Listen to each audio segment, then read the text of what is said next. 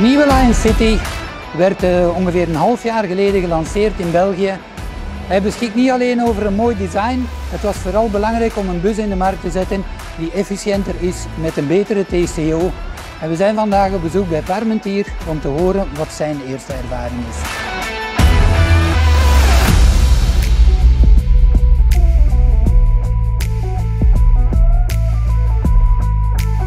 Goedendag, ik ben eh, Stefan Meersman. Ik ben zaakvoerder van Parmentier Autobus, nu sinds 10 eh, jaar. Parmentier Autobus is een uh, West-Vlaamse busonderneming die sinds 1928 bestaat. Wij rijden voornamelijk voor de lijn als onderaannemer met een, een gemengd, gemengde busvlot. Wij zijn ondertussen ook al acht jaar bezig met charter van duurzaam ondernemen, het FOCA charter van duurzaam ondernemen. Want voor Parmentier Autobus is duurzame mobiliteit en duurzaam ondernemen absoluut belangrijk.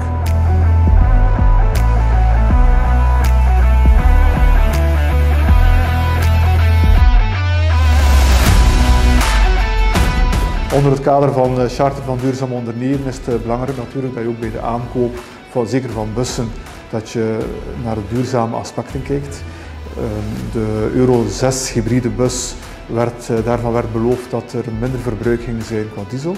We hebben dus nu een half jaar, een klein half jaar dat we met een nieuwe MAN-bus rijden en effectief zien we een minder verbruik van diesel. Dat is uiteraard nog verder op te volgen, maar is al een goede, goede start.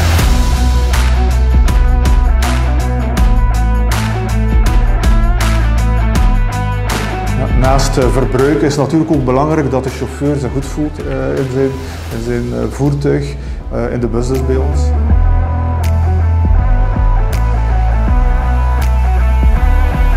Natuurlijk het allerbelangrijkste bij ons de passagiers.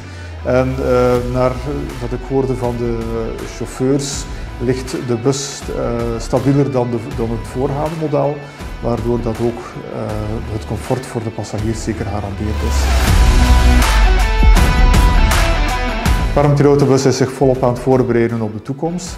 Dat betekent zowel voor de basisbereikbaarheid als ook de maatschappelijke wens om volledig duurzaam te ondernemen, maar ook dus uh, emissieloos.